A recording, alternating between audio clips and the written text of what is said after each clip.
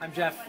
I'm down at Hope Community Church here in Mount Shasta, and as you can see, we have volunteers who have been spending hours sorting. We've been here since Monday uh, afternoon, and we've had literally hundreds of volunteers putting in literally thousands of hours sorting hundreds of thousands of donations for for hundreds of families in need.